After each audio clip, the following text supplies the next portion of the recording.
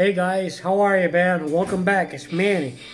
This is gonna be the last video I'm gonna make on the Franklin Cromer uh, switch box. I told you guys I sent it to him.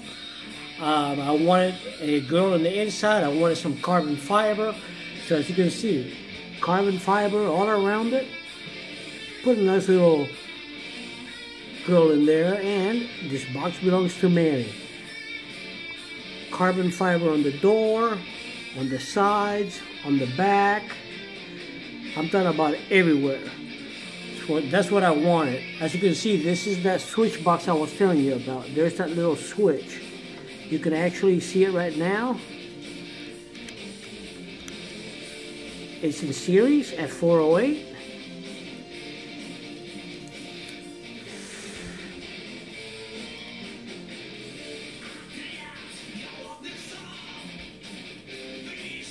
And 816 in series.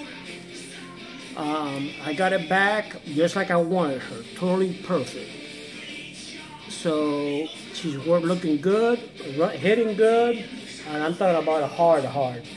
With the four MOSFETs that it's got in it, it hits good.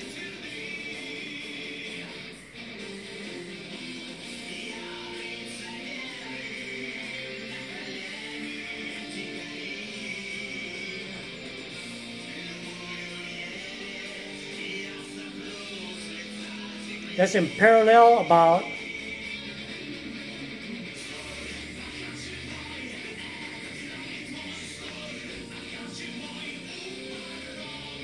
like a five second pull. So she's hitting good. So um, I just wanted to let you know, oh yeah, he changed from a, a very 510 to the big, to the Fat Daddy 510. So the small one. So at least it's flush with the box. The box is even. He sands them down so it stands up even. They don't tip over, even with the tank. So that's the next first thing. Second thing is the meter. The meter needs to be in the front. So when you're actually firing the box here, see the voltage on it.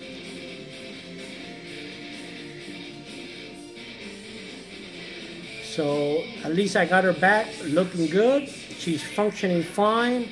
Um, hitting harder than a rock. And series, is amazing the way she kicks. So um, if you're looking for something like that, Franklin Cromer is the man if you want perfection. And um, I sent it to him. He charged me uh, $8 and for the 510 and the work and all that all together I PayPal'd him 20 bucks.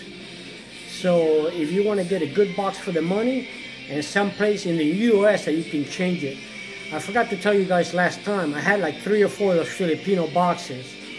Um, you know they hit good to be in series but you see people selling them within a week. So they really they're not that dependable. I had one that the contact melted on the top uh, I called the company I just got it from, and I told them, hey guys, my box is fried. I'm going to send it to you. I want another one. They told me, we're very sorry, but that has to do with the manufacturer. Well, the manufacturer is the Philippines. So by the time I packed it, sent it to the Philippines, it took about two or three weeks to get there.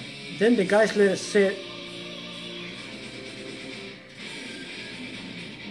at their place for another week before they even looked at it.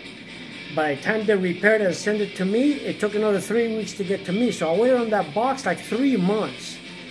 I had to buy a replacement box. I couldn't be three months without a damn box. So that's when I learned that you need to buy. I buy, I buy from this guy who's in Louisiana. I send it to Louisiana, and I have it back it takes two days to get there. He works on it that one day, sends it back the next day. So I'm out of the box like five days. So I either rough it or I have a backup box that he sent me. Um, but that from him like a long time ago, over almost a year ago. And you saw that on the other video, the red one, the firebox. Uh, it's still working like a clock, and I use that now as my backup box. So if you're gonna have a Filipino box, a China box that you need to send to China to get fixed, well, get ready to wait about three months. I'd rather buy here.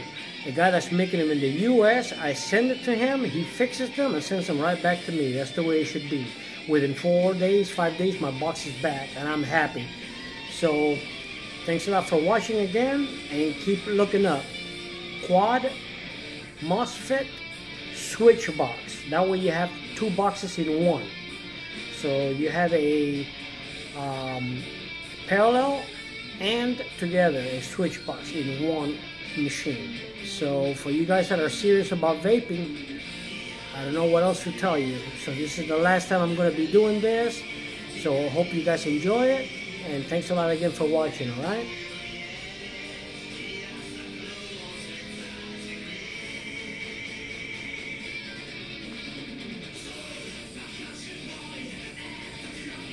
This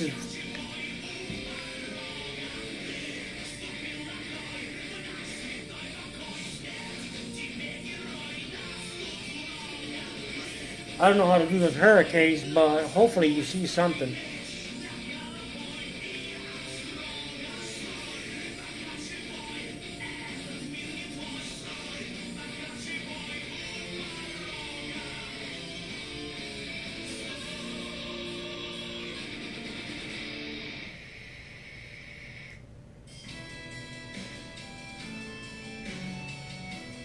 Thanks a lot for watching, guys, alright?